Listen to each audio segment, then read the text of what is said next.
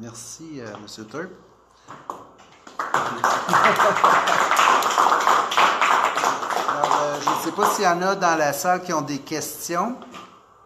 Euh, Daniel? Ben moi, une remarque sur le- les, euh, les droits et libertés, c'est vrai que de dire euh, on met dans la Constitution tout ce qu'il y a dans la charte, c'est très bien, Euh, sauf que euh, la, la charte, c'est une loi. Une loi qui peut être amendée par une autre loi.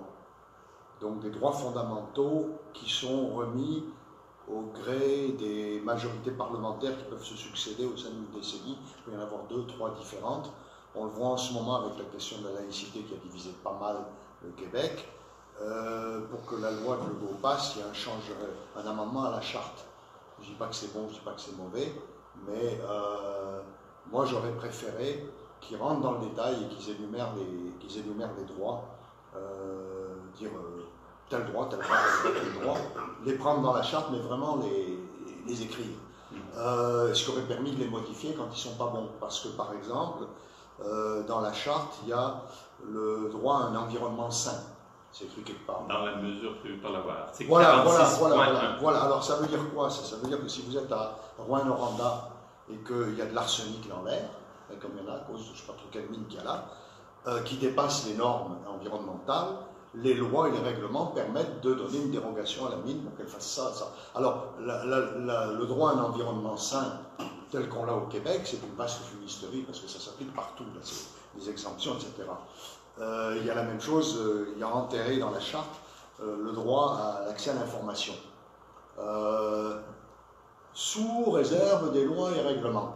Alors ça, il y a 50 lois, une cinquantaine de lois au Québec qui exemptent des pans entiers de la société de, euh, de l'accès à l'information. Alors si ça relève des mines, si ça relève des forêts, si ça relève d'Hydro-Québec, euh, s'il y a un secret commercial. hein. Euh, je prends souvent l'exemple, si vous voulez savoir euh, si la ville de Gaspé, le, le puits de forage, on met des, des cochonneries dans, le- dans la nappe phréatique, c'est l'environnement sain, cette histoire-là. Ah ben, c'est interdit parce que c'est un secret commercial, euh, la, euh, la recette magique pour, faire sortir, euh, pour aller chercher les dernières gouttes de pétrole ou de gaz dans, le sous-sol.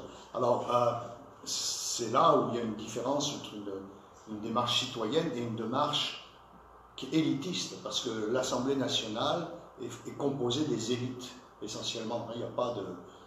J'ai fait une recherche encore récemment sur la composition des députés actuels de l'Assemblée nationale. Les professions principales chez les femmes, caissières, travailleuses de garderie, etc. Il y a une infirmière, c'est la seule qui est là-dedans, qui correspond aux gens ordinaires, là, les cinq ou six professions majoritaires. Les hommes, c'est pareil, camionneurs, euh, menuisier charpentier, patati patata, il n'y en a pas un seul. Alors, Alors c'est qu'on en avait dans notre Assemblée constituante citoyenne. Oui, mais c'est ça. Alors là, c'est plein, c'est plein, c'est plein d'avocats, c'est plein de politiciens professionnels. Il y a de moins en moins d'avocats, par exemple. Ça, Oui, oui, oui, oui, De moins en de moins, comme vous l'avez d'universitaires constaté. aussi, de moins en moins d'universitaires et de moins en moins de médecins spécialistes. Voilà, ouais. Peut-être qu'il y en avait trop. Oui, mais euh, par contre, euh, euh, j'ai rien contre les entrepreneurs, les gens qui entreprennent et qui font des choses bien, mais quand le quart du caucus gouvernemental est formé d'entrepreneurs, je dis que la société est, déséquilibrée. Et qu'ils vont, vouloir ça, des- ils vont vouloir des gazoteux ben, ou des ça, ça, c'est ça. Alors, une assemblée citoyenne, c'est beaucoup plus intéressant que ce que peut faire le législateur, à mon avis. Il y a des, Ouais. euh, c'est plus, euh, ça sera davantage au, au ras des pâquerettes pour correspondre aux besoins réels de la société. Mais pour la, euh, je, je veux quand même répondre. Pour, pour la, la Charte des droits et la technique d'incorporation, si on incorpore les droits fondamentaux de la Charte, une loi ordinaire ou quasi constitutionnelle dans la Constitution, ils ne peuvent plus faire l'objet d'une modification par l'Assemblée nationale, Ça. par les voies ordinaires. C'est les articles de, qui sont relatifs à la revision constitutionnelle qui s'appliqueraient. Alors, ça Donc, la charte, ça sera la charte, si, cette constitution entre en vigueur aujourd'hui, ça serait la charte telle qu'elle est en 2019. Les Et ce 48 qui se passe après, ben, les il 40 faudrait qu'il y ait une modification constitutionnelle. Exactement. Puis, il ne pourrait pas être abrogé jour au lendemain par un Parlement où on décide, on n'en veut plus de ce droit-là. Là, ce serait assujetti à la procé- procédure de modification constitutionnelle, donc les deux tiers, les référendums. Alors, Donc, ce serait beaucoup mieux protégé qu'actuellement. Mais vous posez la bonne question sur est-ce que il devrait, le catalogue complet des droits devrait-il être dans un texte plutôt que dans deux textes? Et pour les fins de la lisibilité, là, ben, il y a deux options. Soit qu'on incorpore, puis qu'on ajoute, ou qu'on incorpore, on n'ajoute rien, puis ça fait une version plus concise.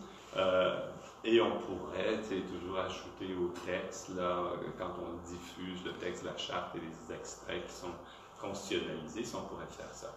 Mais on pourrait, et, ça a un plus grand avantage, je suis assez d'accord le catalogue des droits devrait être seulement la Constitution. On ne devrait pas être obligé de regarder dans deux textes, savoir quels sont nos droits fondamentaux. Mais là, le défi, ce serait de tenter de réduire le nombre de droits, pas de réduire de façon substantielle, mais d'avoir moins d'articles. Parce que moi, j'ai toujours été de l'école que s'il y a trop d'articles dans une constitution, les gens ne la liront pas. Les gens vont s'arrêter à l'article 20 et liront pas le reste.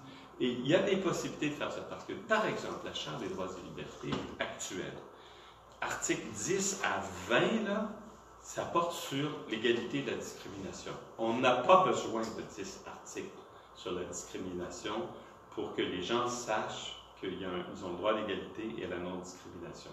On pourrait résumer ces 10 articles en un article important, puis effectivement, peut-être faire une loi contre la discrimination. Ça, c'est parce que la plupart des, provinces canadiennes ont des lois sur la non-discrimination, le Canada a sa propre loi. Nous, on a mis ça dans notre charte des droits et libertés, une espèce de catalogue complet sur la façon dont s'applique la norme euh, contre la discrimination en matière de logement, en matière de travail, et ainsi on pourrait faire un exercice qui ferait que euh, peut-être même on arriverait à avoir un, chapitre 1 avec 20 articles très courts et qui euh, rassemblerait tout ce qu'il y a dans la Charte québécoise actuelle, plus peut-être quelques articles nouveaux avec des, droits nouveaux.